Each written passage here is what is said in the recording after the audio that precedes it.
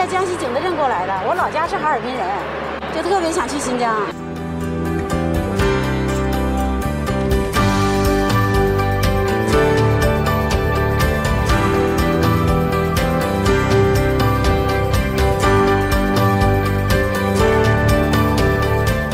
二零一五年以来，一共开行了啊十六列京杭号旅游专列，输送了八千多人了。现在。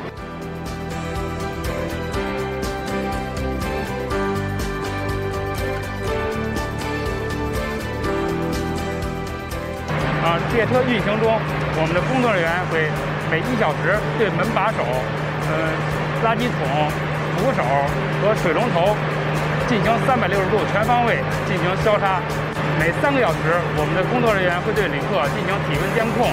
在车上，我们会做到提示，让旅客做好自身防护，呃，戴个口罩，然后勤洗手，然后车上也备有这个口罩和洗手液。